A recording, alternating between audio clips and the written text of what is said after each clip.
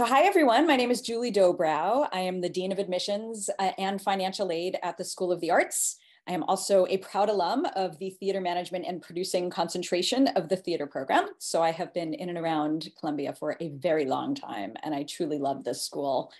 Um, I first want to introduce to you the members of the uh, financial aid staff, because if you have any questions over the next weeks and months, we will be the people uh, who can assist you. So there's me. Um, there's Kenny Wong, who's our Director of Admissions and Financial Aid. Kenny, you want to give a wave? there he is. And we have Niquette Johnson, who is our Admissions and Financial Aid Officer. Niquette is here. There's a wave. Um, we don't have Tori Sheffer on the call, although you may have met her uh, previously. She's our admissions assistant. Um, she's the one who is uh, who answers the phone calls and the emails. So uh, many of you may have spoken to Tori or seen her on one of these other Q and A sessions. Um, but we are we're a small team, but we're mighty. Um, and we do what we can to help you uh, figure out a way to finance your education. So um, we're going to do a short presentation today. So I'm going to ask you if you can to hold the questions until the end of the presentation because many of your questions may be answered during it. Um, when you do have questions, or if you do have questions, you can either put them in the chat or you can raise your Zoom hand, um, whichever you prefer. We're fine with both of those. Um, all right, so let's get started. Um, and uh, this session is going to run until around 8 p.m. Um, if you have questions after the session is over, we will put the financial aid email address in the chat, um, and you can always send uh, questions to that address as well, or if something comes up in the next couple weeks, etc. I actually don't think this is the first page. Kenny, do you mind going back a little? Oh, I guess it is. Okay. All right, tuition and fees. I guess that's the most important thing that uh, people want to know. Um, so um, all of our MFA programs require two years of full-time coursework. Um, this is everything from uh, theater, film, visual arts, and writing. Um, these are the MFA programs. Um, the first two years are at the full tuition rate. Um, and I'm going to give you a link in the next slide where you can see what the tuition is. Um, students who are in film, theater, or writing um, have the option of uh, a third year. And in fact, almost all film, uh, really all film and theater students um, take that option. Uh, the third year is called research arts. You're actually not in classes full time. Um, and as such, the tuition rate is drastically lower. So uh, it's about eight or 9% of, of the full-time rate of the other two years. So you're really looking at two years at the full tuition rate. Um, those of uh, the students who are research arts status maintain full-time status. So if you're an international student, you're still considered full-time. Um, you can also still apply for loans uh, as a student, but the amount you can borrow is lower because uh, the tuition cost is so much lower for that third year. For our visual arts and our sound arts students, those are two-year programs. So you will graduate after the, the second year. Um, there's no research arts option for those um, cohorts. Um, and I'm going to talk about film MA in a second. Um, there's fees on top of tuition, which include health services fee, university services and support fee, um, a couple other small fees, which will uh, you can see on the, the next page, which we have right here. Um, here's the link. It's arts.columbia.edu forward slash tuition. Um, that's where you can find the tuition. It, it, tends to increase by about three to 4% every year, um, but you can at least look and see what it looks like now. Um, one of the fees that you'll see is medical insurance. Uh, medical insurance can be waived if you can provide proof of comparable coverage. Um, it has to be a US based uh, health insurance uh, plan. So unfortunately, international students, if you have health insurance from your own country, you'll still have to get the insurance through Columbia. Um, the MA in Film and Media Studies is structured a little bit differently. It's a, about a year and a half in residence. Um, the first year is full tuition. Um, and the second year is what we call extended residence, where you are mostly working on your thesis. Um, and if you go to the same link, this arts.columbia.edu forward slash tuition, you'll see the rates for that as well. And just keep in mind, these are the rates for 23, 24. Um, and as I said, they'll go up, you know, three or 4% uh, for next year. All right, next slide. Thank you. Um, so this is really, really, really important. I want to make sure that you all hear this. Um, the School of the Arts admissions process is need blind. What this means is that the faculty committees who are reviewing your application are not paying attention and in fact don't even have access to the information about your need level. So please do not worry um, if you need to apply for scholarship support. Do not be concerned that that will reduce your chances of getting admitted. That is absolutely not the case. Um, you'll see that some of the, several of the application deadlines, in fact, most of them um, are uh, weeks, if not months prior to the financial aid application deadlines. So the faculty begin reviewing your applications before we even have your financial aid information. So uh, again, please don't be shy. If you are in need of uh, scholarship support, please do submit the applications and we will talk about that next. So how do you apply for financial aid? Um, if you're a US citizen or permanent resident, we ask you to submit a FAFSA. Um, many of you may be familiar with that from your undergraduate education. Um, the deadline is February 1st. Um, now, there's a little caveat this year. Um, you may have heard that they there's actually a complete um, new version of the FAFSA that's supposedly coming out. Uh, we're told on I think December 31st, which is you know in another couple weeks. Um, if that is delayed um, and you don't feel that you can submit the FAFSA in time, please let our office know.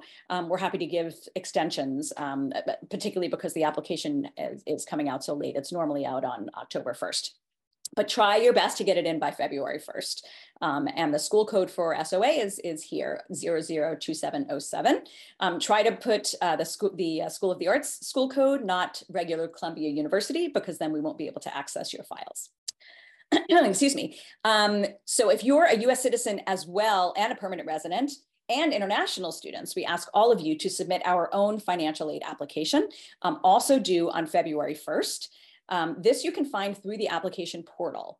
Um, this gives us much more information than the FAFSA does. Um, it gives you the opportunity to explain your situation. There's there's a, a section where you can kind of give uh, you know anecdotal information on on what your particular financial situation is, um, and this is required for anyone who wants to be considered for scholarship support.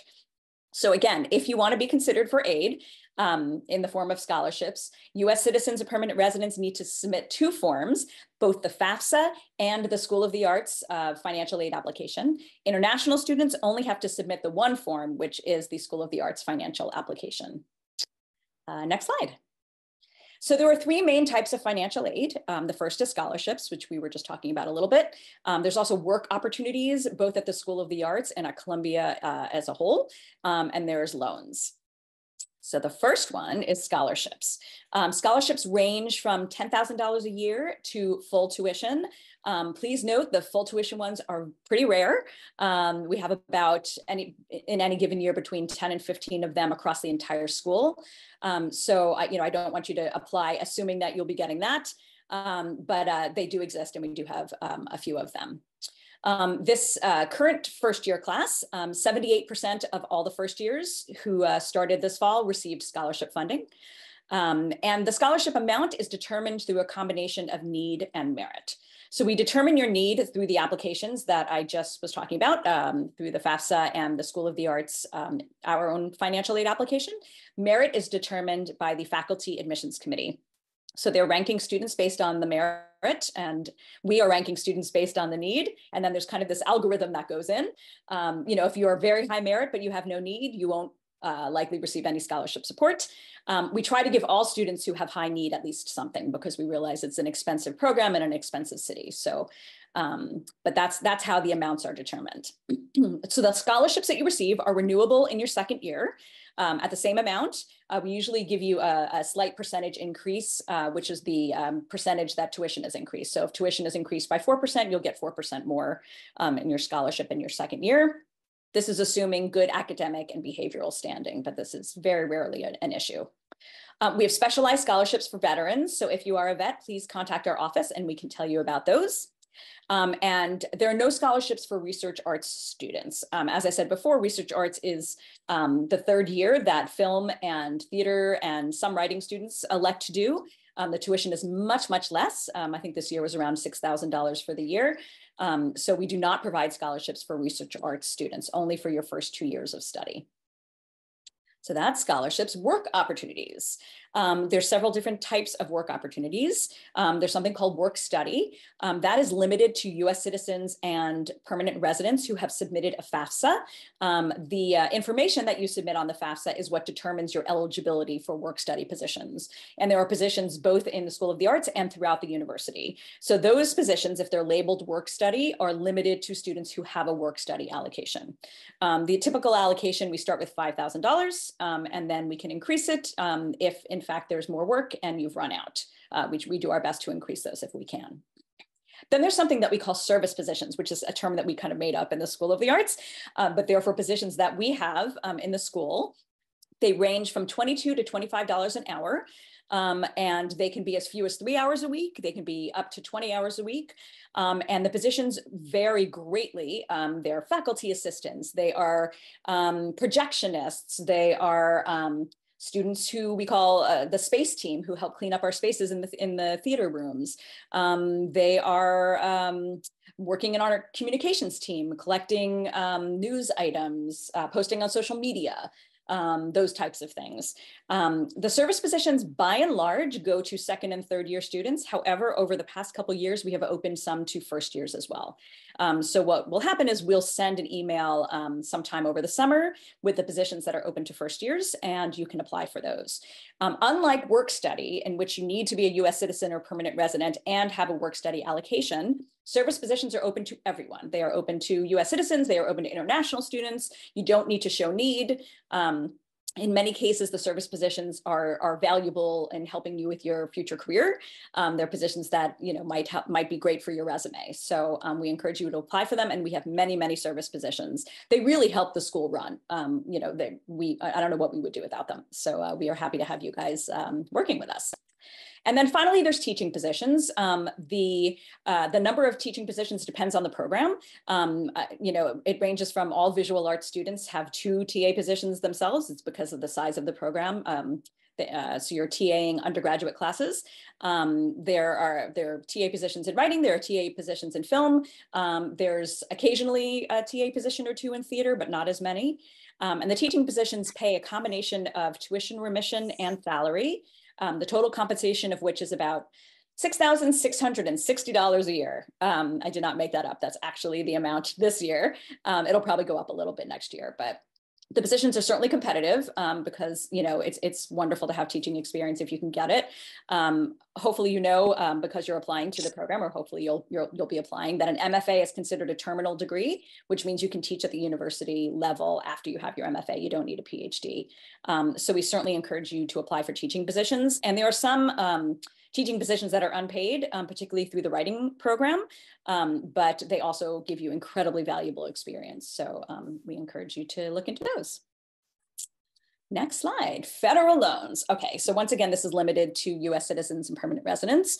Um, the FAFSA uh, is based on your tax return. Um, and for this year, they're gonna be asking you for information from 2022. Um, this is for fall 2024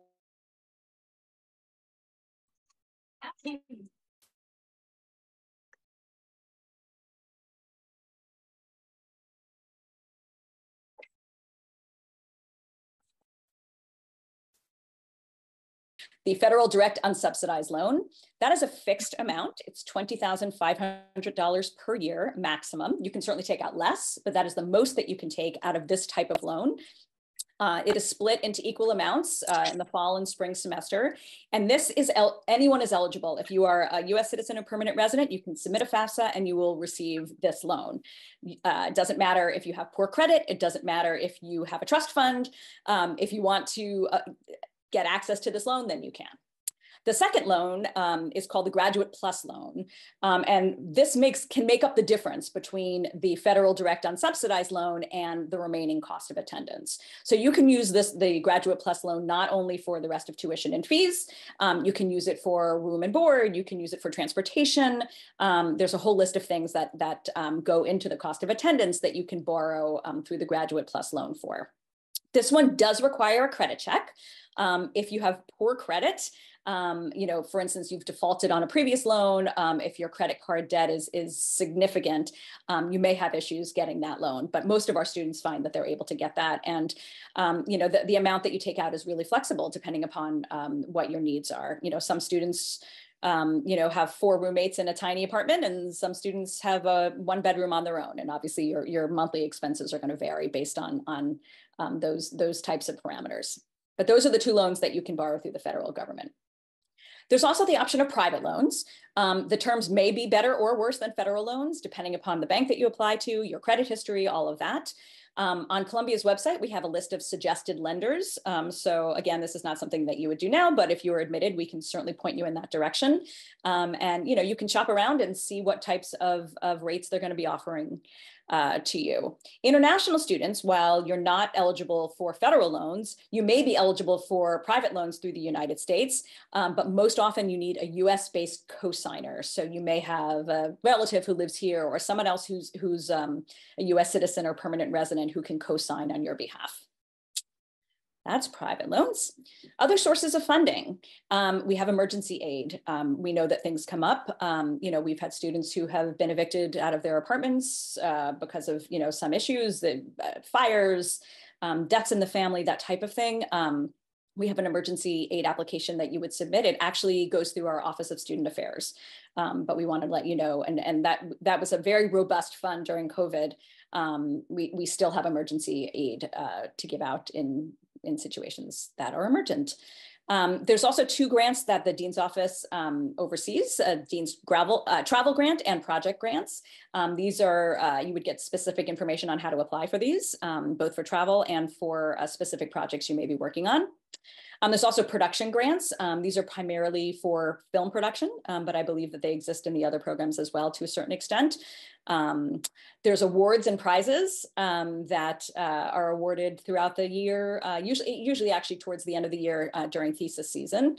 Um, and there's also outside scholarships and fellowships. We give you access to information on um, uh, outside scholarships and fellowships that we've researched, uh, many of which our students have gotten in the past. Um, so, uh, you know, those are, are, other potential sources of, of income as well, or of, uh, of not income, but of uh, support, financial support. All right, next slide. Okay, um, so we are uh, at the end of the formal presentation. Um, I would just want to make sure that you write down this uh, email address. Um, this is the best way to get in touch with the financial aid office. Um, you will hear from either Niquette or Kenny or myself. Um, we also, just, just one other piece of information that's important for you to know, we work very closely with Columbia's um, Office of Student Financial Planning.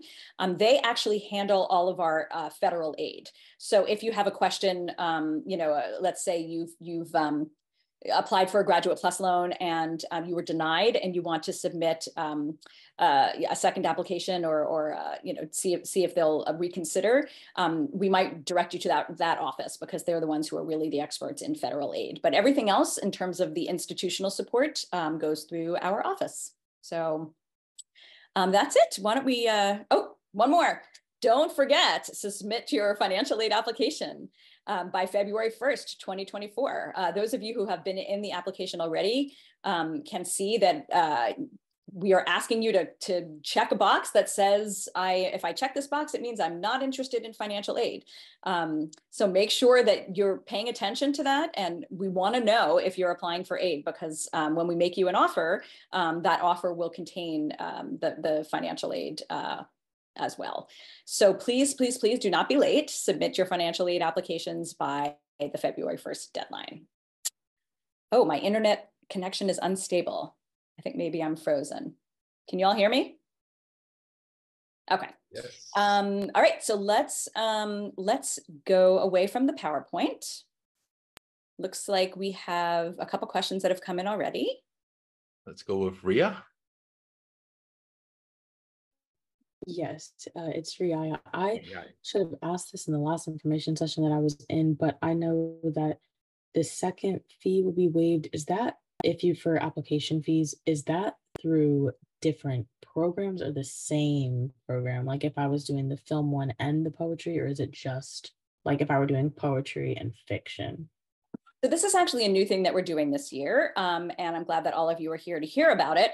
Um, we're only asking for one application fee. So if you decide to apply for, say, poetry and fiction, um, it's one application fee. If you decide to apply for poetry and screenwriting, it is also one application fee. Um, the problem is the system's going to ask you for a second one. So we just ask you to reach out to the admissions office and then we can waive that second fee. Um, we're trying to encourage students. Our, our, students are so multidisciplinary. That's one of the hallmarks of the school. And we have many students who um, are interested in more than one concentration and or program. And we don't want to discourage them from applying. Um, ultimately, if you get into more than one concentration, then the choice would be up to you as to which one you want to attend. You do have to choose one. You can't uh, really double major major, so to speak. Um, but yes, um, just let our office know if you want to submit more than one application and we will waive the fee for the second one. Awesome. And that's that same email, the financial aid email address. Actually, Uh, this no. one would be the SOA admissions. We'll, we'll put it in the chat now. Okay. Thank you so much. Emerson. Uh, hi, I've got a, a couple. Uh, one that's more applicable for all of us, but I'm just curious uh, for students who do receive aid, what is about the average that the amount that students receive? Thought I have that on a slide. Maybe I didn't. Oh, and That I, would- That oh. might be one of the slides. So uh, it's anywhere usually between about ten and forty thousand dollars. That tends to be what people receive. Um, the average range, it- it's different by program, but I would say twenty-five to thirty-ish tends to be tends to be where a lot of the aid lands, but there are students who are getting ten and there are students who are getting a little bit more than that. So. all right, lovely, thank you. Uh, and then my second was a little bit more specific to myself, but I was curious about uh, TA positions within um, not your primary department. So I, for example, am applying in the School of Theater, but I have a lot of uh, opera background and have worked in uh, music uh, schools of music before. So is that something that you see happening? Um, that's a very good question. Um, I actually don't know the answer to that because music is not part of School of the Arts. It's bizarre. It's it's kind of some strange Columbia history, but music is actually part of the Graduate School of Arts and Sciences, not part of the School of the Arts. So I don't know um, if we've had any students who have TA'd as part of music. Um, you could certainly reach out to the graduate music program and ask them. Um, it sounds like you have um, excellent skills. I, I don't know though uh, whether or not they hire students outside of their school. Okay, lovely, thank you. Sure. Appreciate it. All right. Uh, Saren. Saren. Hello, hi. Uh, thank you for this opportunity. I have two questions. So my first one is, um, are teaching positions available for international students? Absolutely. Oh, okay, perfect. Uh, and my second question was, you mentioned that there are like other outside scholarships and fellowships that are available. So is there like a list of outside scholarships and fellowships that students, including international students, could look into? Is there like a list or are we just kind of on our own to figure that out? Um, so we actually do have a database that we will give you access to once you're admitted to the program.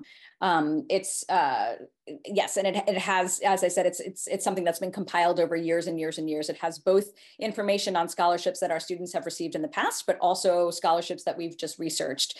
And what's nice about the database is that you can actually meet with one of our current students. One of the service positions that we have is actually students who work on behalf of what we call the Artist Resource Center, which um, kind of owns the database. And so you can meet with a student and they can help direct you to scholarships for which you may be eligible.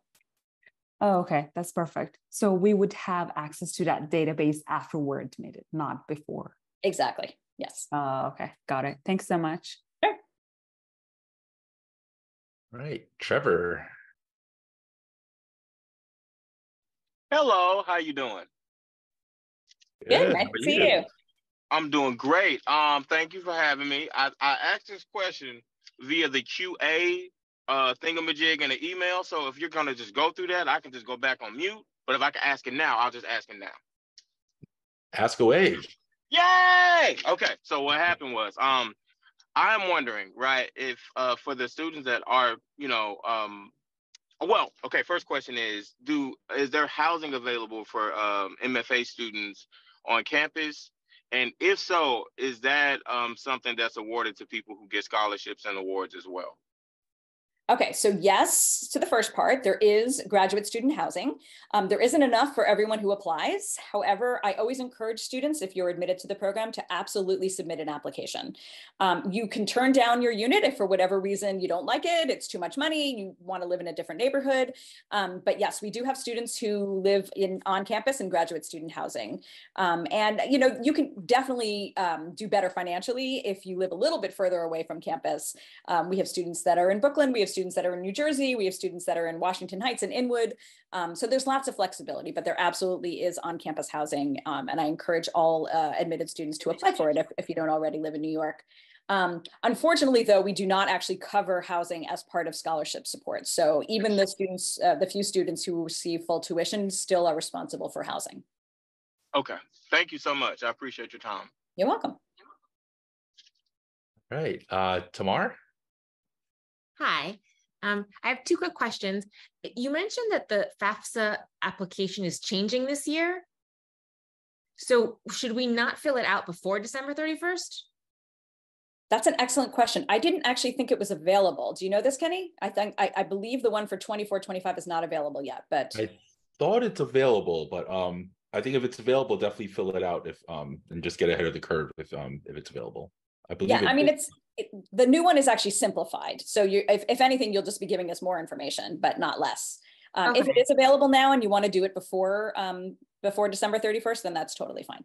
So, so if we have, so if, if what's available right now isn't the updated one, we can still fill it out and it will be fine. Yeah, it'll still come to us. Okay. Just make sure you put the School of the Arts code on it. So. Yes, I wrote it down. Um, and my second question was just to circle back to the question of the scholarship database. So those dead, the deadlines to submit to those scholarships will are are pat way way in the future. Like if we're if we get admitted in in March, let's say, we'll still have time to submit to scholarships for entry in the fall. So uh, that's a very good question and it's a bit complicated. Um, some of the scholarships have much longer lead time. So I try to manage students' expectations. If you're applying for a scholarship in March, um, they may not have a deadline until August and you may not hear until November, right? Um, so what I would recommend that you do is start to do some research on your own right now and see if there are any applications uh, for outside scholarships that have deadlines between now and March. Um, so you can get kind of a bit of a, a leg up. Um, but yeah, the outside, it, it depends on the scholarship, but a lot of them do have kind of longer, long, longer uh, times because they, they have to wait till their board meets or, or, you know, they've come up with new requirements for the next year, et cetera. So yeah, I think it is, it is absolutely incumbent upon um, all of you, if, if you're seeking scholarship support, to start doing some research right now and see what else is out there. Yeah. Can you give any kind of like uh, tips or keywords for to look out for in terms of scholarships that are directed towards arts or film programs? Um, I'm trying to think. I don't actually look at those myself. Um, the person who does is not on the call, but um, yeah, I mean, I think I would start with just kind of a basic Google search. You know, graduate. I mean, make sure you're putting in graduate school because there are some scholarships that are just for undergraduates. Um, MFA scholarships. Um, you know, film screenwriting and directing scholarships. You know, um, the other scholarships. Uh, many of them are by. What's the term? Like uh you know your your particular um, either demographic makeup. So like there's you know we have some scholarships that you know for a student who went to undergraduate school in vermont like so random ones like that. So if you have a particular you know students who you know come from a particular ethnic background or religious background um, so you can certainly search those terms as well um, and see what you come up with. But you know we would circulate the information um, sometime in March. But yeah, I think, but you're right in, in questioning whether or not you would actually have money in hand in September. It's unlikely. Okay, thank you. Sure. All right, uh, Leah. Hi. Um, I just want to make sure I have this like totally right. So for the non-outside scholarships, the one that just like Columbia will award, um, do we have to submit anything um like more than just the FAFSA and our regular application for those? Yes, there's a second application, which we call the School of the Arts Financial Aid application. Um, you can find that through the application portal. So if you log into the application portal, you should see in the drop-down menu, that's an option, the School of the Arts Financial Aid application. We ask for that in addition to the FAFSA. That one provides us more information, and that's the application, the only one that international students need to submit because they are not eligible for funds through the FAFSA. Does that answer your question? Yeah, and then I was also wondering for the um TA positions and the service positions, um say we get accepted in the spring, is that when we would start applying for them or would we apply for those when the semester already starts? So it depends on your program. Which program are you interested in? Um, the screenwriting and directing. Screenwriting. Okay. So for screenwriting and directing, the TA positions don't happen until your second year. So you would apply for them as a first year student. Um, the service positions, those that are eligible for first years, um, most of them, as I said, are second and third years. But for the first year, uh, the ones that are eligible for first years, um, those you would hear about in the summer. We would send them to you close to the start of classes and then you could apply for them. Okay, thank you. You're welcome. Oh, I thought I saw another hand up. I think I guess you put it down. Um, yeah, I think one thing we do, I, I want to make clear again, there, there are two, um, for everybody has to submit a school of the arts financial aid application to, to be, whether you're domestic or international, because I see a few questions in the chat about that.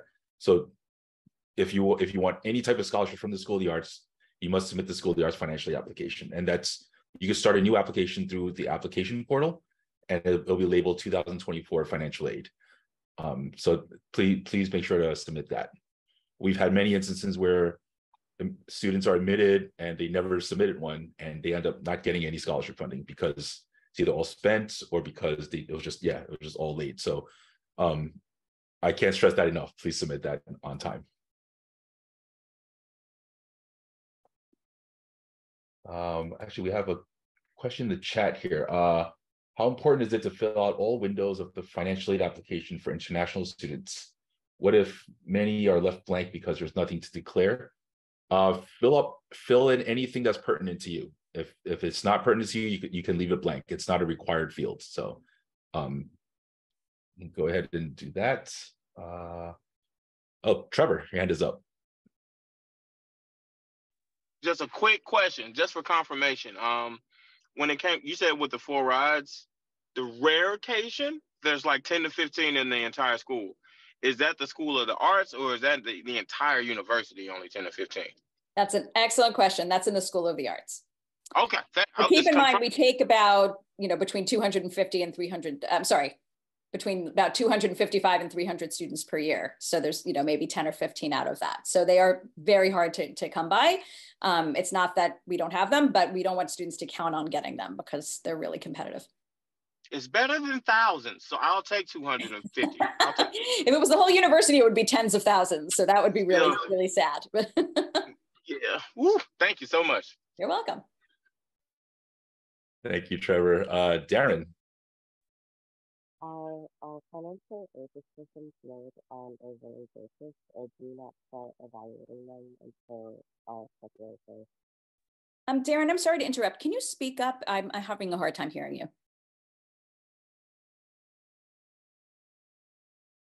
Darren, are you here? All right, well, why don't we go on to the next question and we can come back to Darren. All right, uh, Leah. Um, hi again. Sorry if I missed this. Um, I don't know if it was stated already, but again about the um in school scholarships awarded by Columbia. Uh, would we find out if we got those um before the semester starts? Oh, definitely. You would get that as part of your admissions offer. So we send you a letter. Um, well, I shouldn't say that. We we it's a an, an e an e letter, a letter attached to an email um, that offers you admission, and then at that time gives you your scholarship offer. So you don't have to make a decision about whether or not to come until you have the the financial information in uh, in hand. Okay, great. Thank you. You're welcome. Um, Darren, if you want to type in your question in the chat, um, that may be the best oh, way for us to hear from sorry, you. I was having connection issues. Can you hear me okay now? Yeah, we can hear you now. What is your question? Okay. Um, are financial aid decisions made on a rolling basis, or do you start not start evaluating them until February first? Um, we actually don't do financial aid decisions until we are given the list of admitted students from the faculty. Um, so, um, you know, the finance, the um, your application's due February 1st, but you probably wouldn't hear about them until you receive your admissions offer. In fact, you definitely wouldn't hear about them until you receive your admissions offer. Um, admissions offers range from late February to late March. Um, it really depends upon the concentration. Um, some faculty take a little bit more time to review uh, applications than others. Um, but um, but yes, you would receive the the uh, financial aid information once you have your your admissions decision. Did that answer your question? Yeah, thank you. Great, you're welcome. All right. Uh, we have a question in the chat. Is the income from work studies, service positions, and teaching positions taxed? Yes, uh, you do have to report that as income uh, when you file your taxes. Um, whether you know you may they there is going to be some withholding for for some of these, um, especially the service positions and the TA positions. Um, but you know depending depending on you know your income bracket and everything you you may get that back as a refund uh, Tamar. Um, so just to make sure I get this right, this uh, School of Arts financial aid application is that in the in the application portal? It's it's you're it's as if you're opening another application in addition to your actual application. That is correct. You're actually starting a new application, but it says 2024 financial aid. Okay, great. If, if anyone has problems locating that, then please just get in touch with our office. We can talk you through it. We can do a screen share or something so you can make sure you find it. You. Alvaro. Hi, hi, how are you? Good night. Um, do, uh, do you have a, a, list about the scholarship, like a, a list you can uh, share with us? We don't have a list right now. Um, but we would give you access we will give you access to the database that we have. It's it's it's a database. You actually have to have login credentials in order to access it um, which is why i'm suggesting that you do some of the research on your own right now. And then once you're admitted to the school and then have login access then you can then you can look at the outside grants and scholarships information. Uh, okay. Thank you. And the the houses uh, the program has uh, is uh, maybe is a, a lower price or something like that in general um, I would say that Columbia Housing is probably in the middle to the upper in, in terms of the cost. Um, most of our students can find cheaper housing um, if they're a little bit further away from campus. Um, so, you know, as I said, there's many students who live in Upper Manhattan, um, Inwood, Washington Heights. Um, there's students who live in Jersey and all the way in Brooklyn, and Queens, you know, various different areas. you know, how far away you live from campus you know, it, each each program is a little bit different. So if you're an actor, um, the actors are in class and or rehearsal most days from like 9 a.m. till 10 p.m. or 11 p.m. If I were an actor, I'd probably want to be a little bit closer to campus because of that. If you're a writer, um, you may have classes two or three days a week. Um, you may have a total of 15 or 20 hours of classes, and then you're off writing on your own, um, in which case it's perfectly fine to live further out um, because you're not going to be at a rehearsal till, you know, 9, 10, 11 p.m. at night. So it really depends on you, um, but that, that would at least be my suggestion. But as I said before, if you're at all interested in on-campus housing, just apply for it and see what you're offered and see if it's within your budget. Um, and if it's not, you, we have an off-campus housing office that can assist students in finding off-campus uh, opportunities. Thank you. You're welcome. Caroline. Hello. Thank you so much for this Q&A. I have a quick question about the FAFSA form. So do we, we don't need to send this form to Columbia, right? We just have to mail it out to to the um to the address? No, it's it's an online form. Uh, so you'll you'll you everything is completed online. So you you want to go to the FAFSA website, mm-hmm. um, and once uh, and log in. You have to create an FSA account if you don't have one already. And when you submit it, uh, it will be electronically uh, sent to Columbia. I see. Okay, thank you.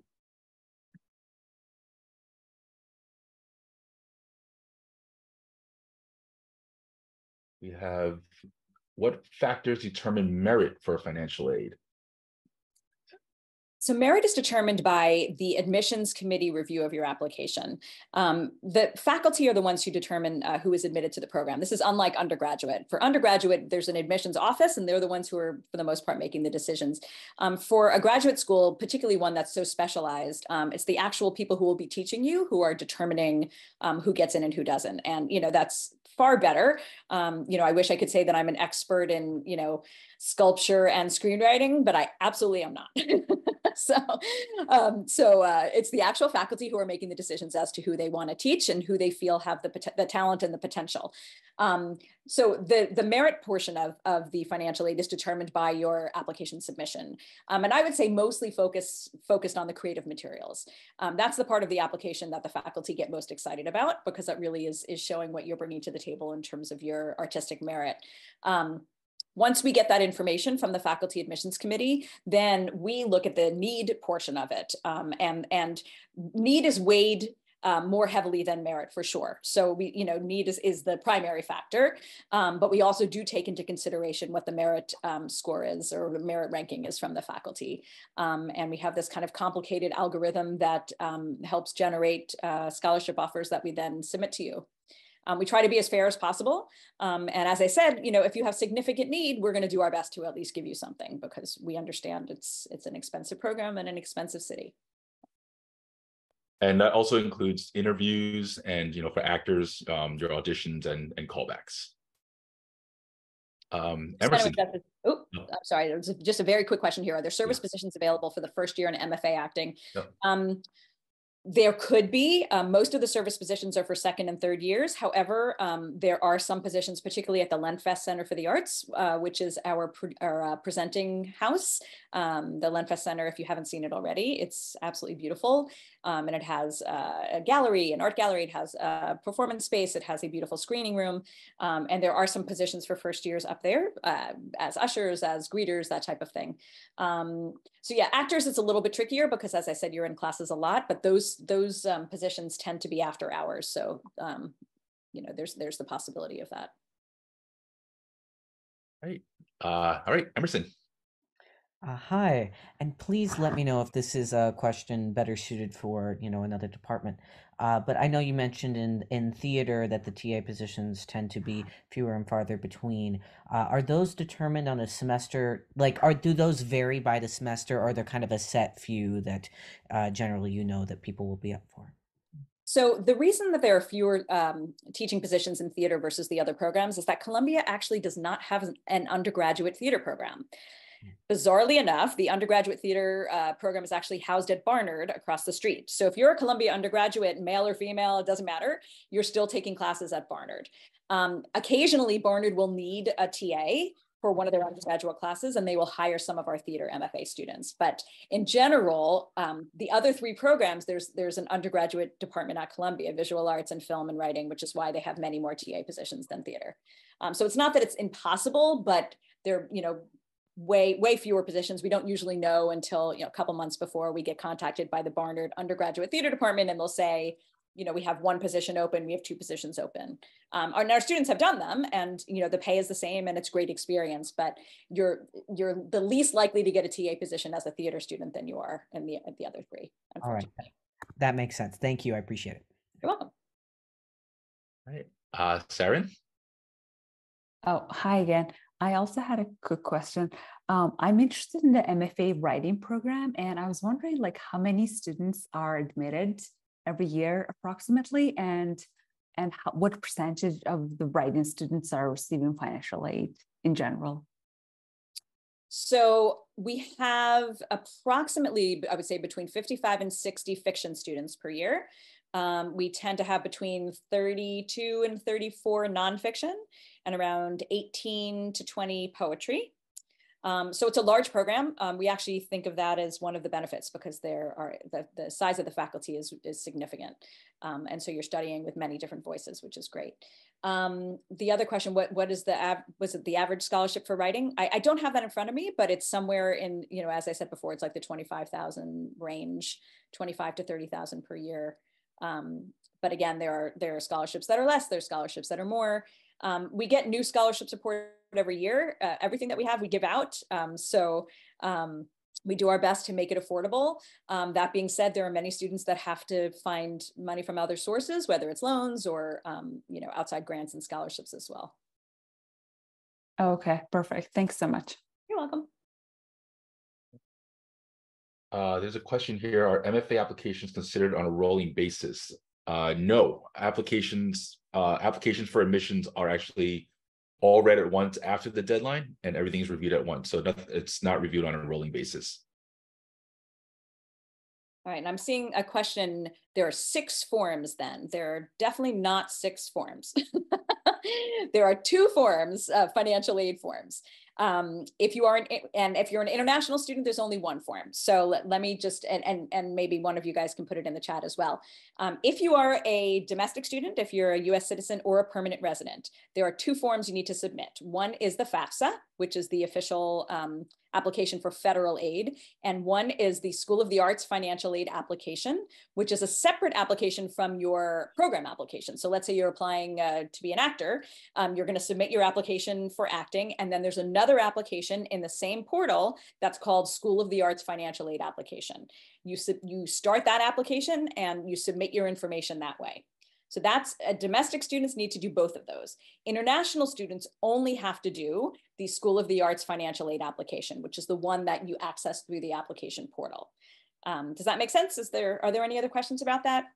Again, if you have problems finding it, please reach out to our office and we can do some kind of screen share or we can do a Zoom call and, and make sure that you know how to access that application. But it is absolutely crucial that you submit that application by the deadline if you want to be considered for scholarship support.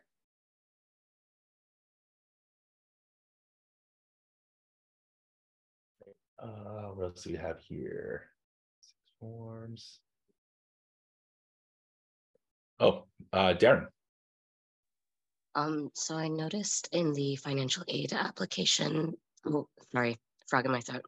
Um, I noticed in the financial aid application, there's a section where you break down how you plan on um, paying for tuition and cost of living.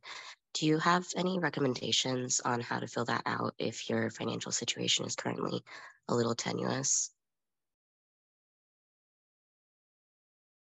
Can you can you clarify what you mean by fill uh like filling out a the financial aid form? Are you talking um, about the section where it asks for um, anecdotal information? There's there, there's a section in which you can kind of give an explanation as to your particular situation. Is that what you're talking about? Specifically, the part I, I saw a section where it asks you to break down um, how you plan on paying for tuition and cost of living. So, like loans, um, scholarships, uh, work, things like that. Um, do you have any recommendations for how to fill that out? Since obviously we we don't know going in like what kind of financial aid we'll be getting from Columbia yet. Um, and so just like what your recommendation would be for how to put in that information. I mean, I think the best thing to do is is what you anticipate or what you're hoping for. So, um, you know, often students will say, you know, I'm hoping to fund this through a combination of scholarships, loans, personal savings, and um, support from family or something like that. Um, we're not going to hold you to that because we realize that a lot of this information you don't have at the time of, of application, but at least gives us a sense of, of um, the sources of funding that you're hoping to put forward. Does that answer your question? Well, yeah, that makes a lot of sense. Thank you. Yeah, I also want to add the purpose of that is also to we want when students are admitted, we want students to think about funding, how to plan out how how they're going to fund this education.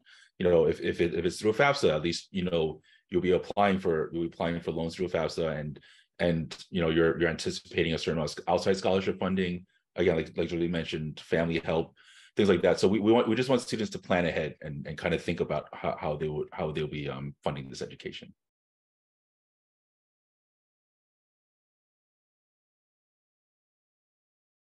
Are there any other questions?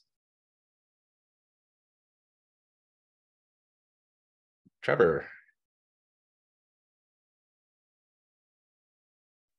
I told myself I wasn't going to ask any more questions, but then something just came up. So no, um, ask away, ask away. That's what we're here for. listen, listen. Okay, so uh, I just thought about this. I know this is an insane question.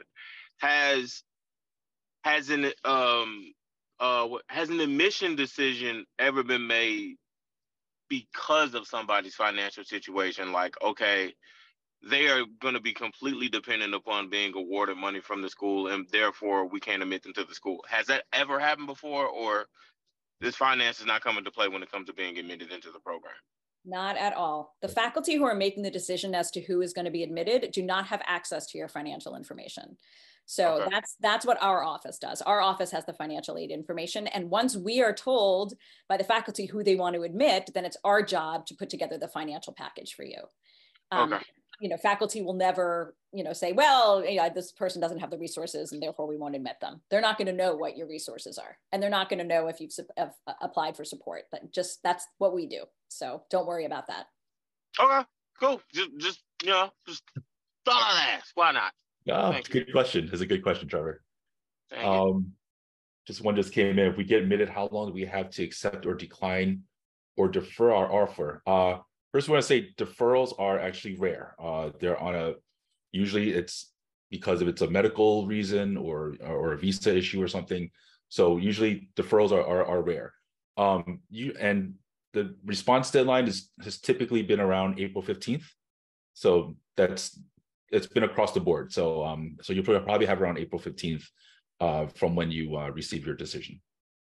And that will range from late February to late March. So depending right. upon the program. So some people may have a month and a half, some people may have three weeks. Um, April 15th is pretty standard. So I think you'll find if you're applying to other graduate schools, they're going to want your decision by then as well. Um, you know, we try to get the decisions out as soon as we can, um, but it's really up to the faculty review committee. As we said, they're the ones who are actually doing the review and we want to give them the time they need, um, you know, to make sure that they are really, um, you know, paying attention to each and every application. So um, yeah, we will get those out as soon as we can, but April 15th is typically the response deadline. Uh, Mosiah, I hope I didn't butcher that. You didn't. You got it perfectly. Thank you. Um, I wanted to ask you guys, um, this is more of an open-ended question, but what do you feel like are some things that you feel like year by year students tend to overlook when applying for, or applicants tend to overlook when applying for financial aid? That you feel like is like important to know or that important to not overlook? What do you what do you feel like it's a trend of like, oh man, they shouldn't have like overlooked this part or this would benefit them to know or to take advantage of more? Well, the first thing I would say is they either miss the deadline or they don't submit the application at all. so when we send out your uh, admissions notice in in uh, you know in March sometime, they'll say, "Wait, why didn't I get any scholarship support?" And we say, "Well, where was your financial aid application? It was due in February." So that's most important. Please, please, please, if you want a scholar to be considered for scholarship, you got to submit it, and you got to submit it on time. Kenny or Niquette, you guys have anything else to add? I was that that's exactly what I was going to say because that that really is the biggest one. Um, not submitting the financial aid application. Um, also, you know, don't lie on the application. A lot of times they overstate how much they how much support they're going to get from the outside, and then when they're admitted, they're like, oh no, we you know, they they tell us you know they embellished that part or something. Be truthful. Let us know if you if you're not expecting any outside support. Let us know because we because that's what we're basing our financial um, uh, decisions on. So if we see that you're get you, you think you're getting hundred thousand dollars in outside scholarship and, and and it wasn't true, we're basing our decision off that. So you know, just make sure you're you're truthful in in um in all the information you enter. It's really helpful. Thank you. Anybody else? I put the email address again in the chat for the financial aid office. Um, so if you send an email to that, you'll hear from me or Kenny or Niquette, um, and we'll get back to you as soon as we can. But um, Oh, I just saw another question come in. Do most students only have work study jobs inside the university or do many find jobs outside the university as well? Well, international students can only work for the university. Um, domestic students are all over the place. We have some domestic students who have had jobs prior to coming to grad school and have been able to keep them. Um, you know, sometimes they'll, they'll reduce from full-time to part-time. Um, we've had students that have had remote jobs from, you know, where they're, they're working for companies that are outside of New York. Um, so yeah, it runs the gamut. Students work everywhere. Um, but international students just know that you are limited to uh, jobs within the university. And all students are limited to um, 20 hours a week for Columbia positions. Um, so, you know, if you have a job that's outside, you can work as many hours as you want. But if you're working at Columbia, then it's it's a 20 hour a week limit. Oh, one thing I just thought about um, for the for that financial aid application for international students, this financial aid application, when we ask for your funding sources and everything, this is not for your visa. So back to the embellishing part, we, you know, some we we don't we're not looking at this to determine whether you get your visa or not. That's handled through a completely the ISSO office, the International Students and Scholars Office. So they they're the ones, and you'll work with the Department of Homeland Security to to submit um, financial information about how how you'll um, how you'll afford the program uh, to get your visa. So you know our financial application is completely separate from the visa process. So you know you don't have to worry about um, putting in information um, that you don't um, to to try to get up to the cost of attendance. Uh, Jade. Hello, can you hear me okay? Yes. Okay, so um, full transparency, you were like, we want students to think about their financial aid, which is why like you're prompting us to answer these questions. Uh, I'm out here just, you know, surviving on faith. I have not thought about this at all until this session right now. That's why we're having so, you here. We want you to think about it. and I'm like, you know what? My savings is not looking like what it needs to look like. So um, as far as like being honest on the application and all of these things, for someone who's like, I don't think I'll have family support when it comes to this. Like they support my dream and ambitions, all that, but financially, that's not going to be a thing. So it's really just whatever I can save between now and, of course, assuming I get accepted, um, whatever I can save between now and then, which I do not know. I just have like saving goals that I'm working toward personally. It's not like a set figure. And then um, it would be like whatever the school has to offer, and then whatever scholarships I can find online, maybe write an essay. I don't know what I haven't been in school. I haven't been an undergrad in a while, so I can't even really remember what all exists outside scholarships.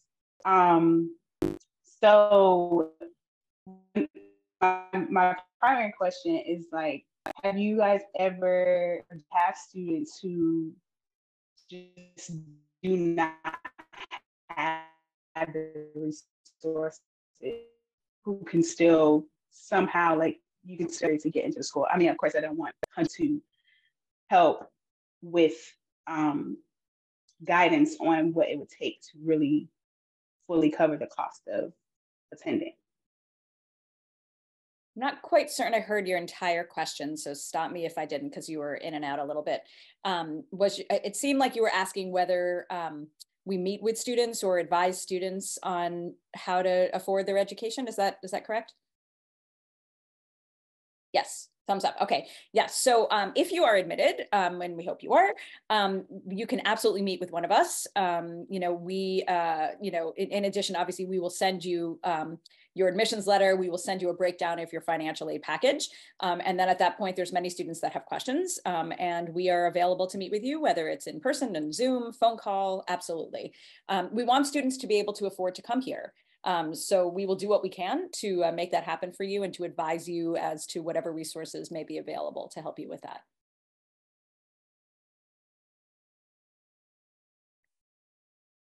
Oh, all right, I got a heart. Excellent. Well, it's eight o'clock. Um, so I think we're going to wrap up for tonight. Um, but this does not have to end this conversation. Um, just so you know, as I said, we are here to answer questions throughout the process, um, particularly as we get closer to February 1st deadline. Remember, February 1st deadline. Um, we are here to support you. Um, and, you know, we hope to see your applications in. Columbia is a, a, really terrific place to get your MFA. I did it myself and I highly, highly recommend it. Um, and we're here to, to help support you however we can. so thank you so much for coming tonight. And uh, we hope to see your applications in soon. Yes. Happy holidays. Take care. Happy holidays. Thank you for attending, everybody. Bye, everyone. Bye. Take care. Have a great one. Bye.